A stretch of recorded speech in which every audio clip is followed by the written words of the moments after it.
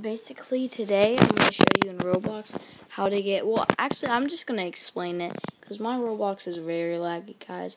So if you guys have ever heard of this game called Pet Simulator X, um, it's this game, uh, basically in Roblox, if you guys ever heard of that, it this game right here, in Roblox, um, basically there's a bunch of mini games if you guys haven't heard of it, um, and basically, what, what am I trying to say? Uh, in this video, I was going to show you how to how you can get infinite eggs, which I'm just going to explain it because I don't want to really go inside of the game because it's like really laggy.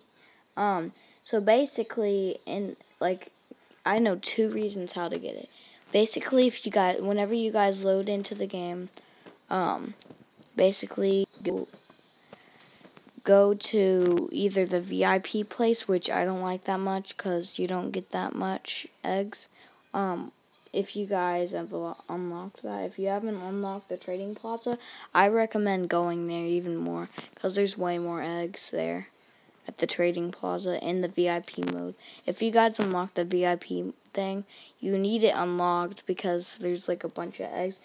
If you go in the trading plaza, and then go to the VIP area, it's like very OP. That's good. That's gonna end it for today. Oh yeah. Um. Well, I I want this. I want this to this first video ever to hit 100,000 likes on this video.